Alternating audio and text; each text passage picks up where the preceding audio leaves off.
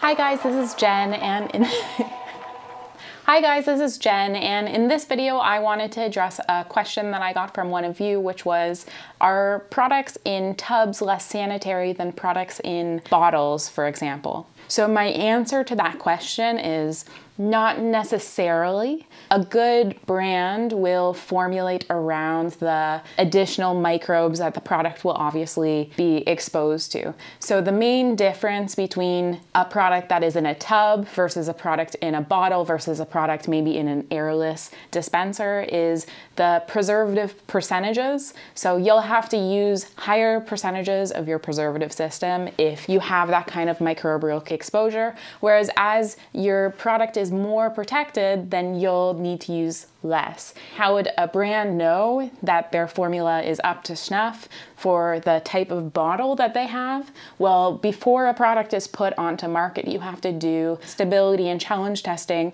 to make sure that your product is going to be stable under consumer pressures. For example, dipping your finger in that tub or exposing it to steam in your shower. A lot of people with their eyeshadows, they just leave it open. So you want to make sure that the product will be able to stand up to the additional pressures of consumers. One thing to note, this, I mean, this does apply to water-based products. If you have an anhydrous product, so anhydrous is if there's no water in the formula, so say butters, you don't necessarily need a preservative, probably it's a good idea. But if you have water in the formulation, that's where you really have to be concerned because as soon as there's a certain level of water, then microbial contamination just becomes an inevitability without a preservative. Preservatives are super important. The one thing about preservatives is they have to be able to kill microbes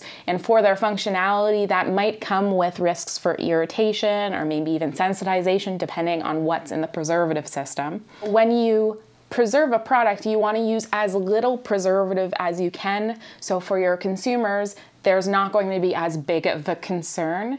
For products that are formulated in tubs, because they might have to have a slightly higher percentage of preservatives, they'll still be within a safe threshold within regulatory approval levels. So, I mean, they're still going to be safe, but they might be a little more irritating or a little more potentially allergenic than a product that has less preservative, such as your airless dispenser products. So, that's the main difference between the sanitary risks.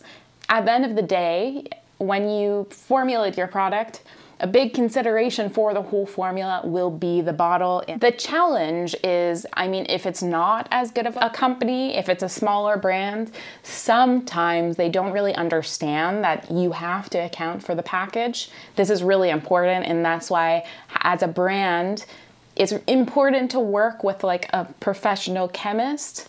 They'll know what to do to make sure that your product will be safe, or at the very least, get your product stability and challenge tested to make sure that they'll be able to stand up to these consumer pressures.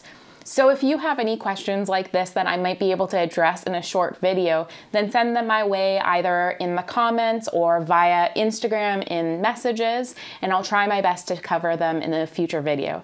Thanks for tuning in.